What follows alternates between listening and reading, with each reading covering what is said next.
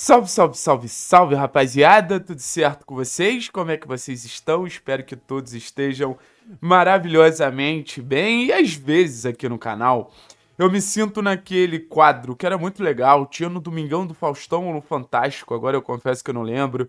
Acho que tinha no Discovery também, que era fato ou fake, né? Que às vezes algumas teorias populares elas chegam é, de maneira, porra, bem dissipada e às vezes não necessariamente procede. Eu acho que essa que a gente vai repercutir aqui tem muito a ver com opinião, mas eu quero trazer um fato logo no início para a gente desmistificar algo que vem se tornando uma verdade, porque já é o segundo jogo que existe a teoria que o Atlético tira o João Cruz e que o Atlético ele acaba tomando gol, o Atlético acaba perdendo o jogo muito por causa disso. E eu quero chegar para vocês já começando é, a mostrar esse fato aqui para a gente entender algumas coisas. Vamos lá? Olha, rapaziada, isso aqui é tipo um mapa de ação, né? O Atlético é o azulzinho, o Vasco é o verdinho. Quanto maior a barra, mais perigo a equipe levou. E tava ali. Antes do gol do Vasco, do primeiro gol do Vasco, olha como o verdinho ele já vai ganhando é, consistência, né? Aí o primeiro traço em preto foi quando o João Cruz saiu. Aí, por logo depois sai o primeiro gol do, do, gol do Vasco. Mas eu acho que é muito difícil a gente botar na conta da saída do João Cruz, porque eu volto a dizer, com o João Cruz em campo, o Vasco ele já vinha crescendo, o Vasco já vinha se estabelecendo, já o Vasco já vinha levando mais perigo, mais presente no campo de defesa. É, do Atlético, óbvio, né? Então, pô, qual a minha intenção? É, é, desvalorizar o João Cruz? É chegar aqui e falar que a saída do João Cruz não impactou em nada e que o Atlético tem no João Cruz um jogador irrelevante? É óbvio que não. O João Cruz é um baita de um jogador importante.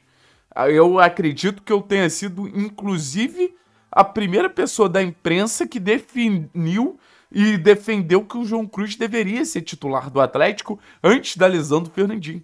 Para mim, o João Cruz já teria entrado no lugar do Christian. Só que estão criando um cenário de dependência em relação ao que o João Cruz nos entrega hoje, que eu acho que não é bom nem pro garoto. O que não faz com que o João Cruz não seja um jogador importante. Só que é um garoto que acabou de completar 18 anos. Então, antes do momento merchan, acho que o recado do vídeo é calma em relação ao João Cruz, mas ao mesmo tempo que está liberado se empolgar, mas com moderação. Vou pedir para você deixar o like, vou pedir para você se inscrever no canal. E óbvio, tá ali do lado o nosso código na KTO, é kto.com, só você apontar a câmera do seu celular para esse QR Code que vai te levar lá para o site da KTO. Aí depois disso é só fazer o cadastro, vai ter uma areazinha ali, cupom você bota três pontos que você ganha 20% de bônus. Semana importante de Copa do Brasil, né? Semana onde a gente vai ter Flamengo e Bahia, semana onde a gente vai ter São Paulo e Galo, e semana onde a gente vai ter mais um confronto entre Atlético e o Vasco da Gama. Beleza, rapaziada? Vamos lá falar um pouquinho sobre o João Cruz? Porque eu quero deixar claro que eu também estou muito empolgado com o João Cruz.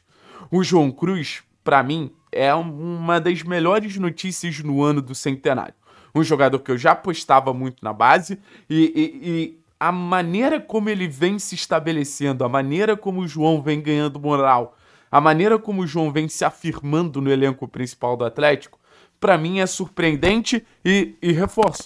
Eu já era uma pessoa que acreditava muito no João, mas o João está entregando muito mais do que eu esperava.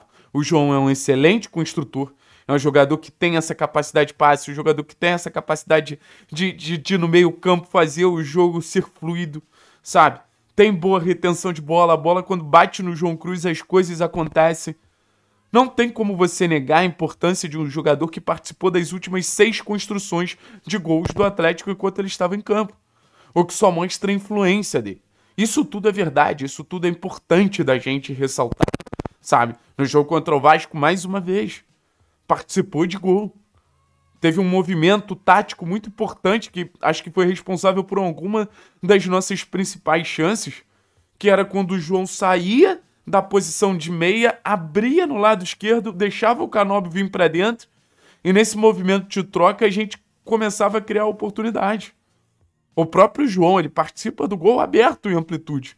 A chance que o Canóbio pisa na área, que o, obriga o Léo Jardim a fazer uma grande defesa, é por causa desse movimento. Então o João novamente foi muito bem contra o Vasco. Mas eu acho que a gente precisa trazer para análise em relação ao João Cruz a questão do erro. A questão que em algum momento ele vai oscilar. Se você for me perguntar, pô, Thiago, o que, que, você achou do jogo do, do, do João Cruz contra o Vasco? Bom, finalizou uma vez, uma assistência para finalização, 16 passes certos, 6 passes errados, não teve nenhum desarme. Mas eu não consigo botar uma expectativa tão grande no moleque de 18 anos. O Fernandinho era uma referência técnica e eu já acho que se pesava muito em relação à, à dependência e, e, como o time só funcionava a partir do Fernandinho. E desculpa, eu acho que a gente está vivendo um processo muito significativo no Atlético com o Martin Varini, que é a gente voltar a ter uma perspectiva coletiva. Como eu falei, o João foi bem, mas também dependeu do movimento do Canóbio. O João foi bem, mas a circulação de bola passou pelo Nicão, passou por nove jogadores. Então, assim, não dá pra gente falar, ah, só o João tá funcionando. Ou o Atlético não pode tirar o João Cruz de jeito nenhum que as coisas desandam. Como eu mostrei, o Vasco já vinha crescendo no jogo com o João Cruz em campo. Então o João ele tem que ser tratado como uma peça importante como o Esquivel é, como o Zapelli é, como agora a gente não tem o Fernandinho, mas como o Christian é, como o Canóbio é, como o Coelho é, como a Estriane é. Sabe? Até pra gente não criar um cenário de frustração quando esse moleque lá, porque vai acontecer, gente. Porque vai acontecer. E eu vou ser bem sincero com vocês. Eu já tô pensando na montagem do elenco de 25. Não tem como não ter no João Cruz um jogador que eu acho que, cara, se duvidar, já começa a temporada de titular termina essa atual temporada e já começa a temporada titular. A perspectiva de, de, de futuro do João Cruz no Atlético é excelente. A perspectiva de futuro do João Cruz no Atlético, ela é de um jogador que, enquanto estiver aqui, enquanto o clube não vender, eu não tenho dúvida que vai ser um dos jogadores tecnicamente mais capazes. Mas eu não acho que a gente tenha que criar essa, essa narrativa, primeiro, até porque não é uma narrativa verdadeira. O João vai bem, mas não vai super bem, e o Vasco já cresce com o João em campo. E eu acho que essa narrativa, ela traz um peso pro João nesse momento que o João não precisa. Eu quero ver mais jogadores da base. Eu sou super a favor de Emerson. Eu sou super a favor de Dudu. Eu sou super a favor de Marcão. Eu sou super a favor de Léo Derek. Mas se a gente começa até por uma carência em relação a reforços, romantizar o João ao ponto de se criar um cenário de pressão sobre ele, puta, bicho, eu não consigo. Eu não consigo. Eu acho errado. Eu acho que criar qualquer tipo de, de, de dependência em relação ao João Cruz não, não, não vai somar em nada, tá? Não vai somar em nada. O João, vou te falar, ele eleva o nível do nosso meio campo. O João é um garoto extremamente coerente em qualquer movimento. O João acho que ele qualifica o jogo com o Zapelli, que é outro garoto muito talentoso, que pode fazer o meio campo do Atlético ser extremamente criativo com ele. Eu acho que o João justifica toda a produção ofensiva que o Atlético vem tendo no Campeonato Brasileiro, de ser um time que cria muito, não converte muito, mas cria muito. Mas não vamos criar esse cenário de. É... não vamos criar esse cenário de dependência do João Cruz.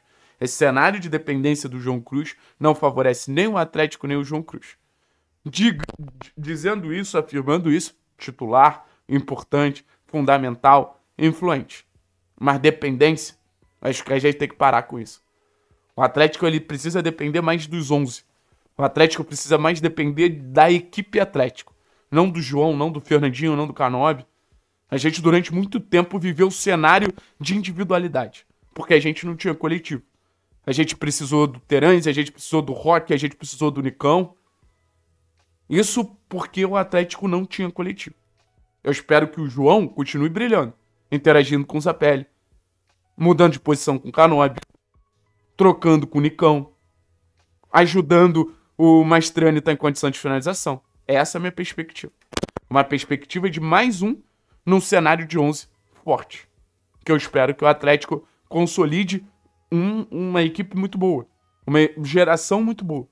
Que tem muito talento. Valeu, pessoal. Desculpa aí os barrões na mesa, tô com a perna cruzada aqui, acabei esbarrando. Mas enfim, tamo junto, é nóis. E sem, sem isso de, de, de João Cruz dependência, pelo amor de Deus.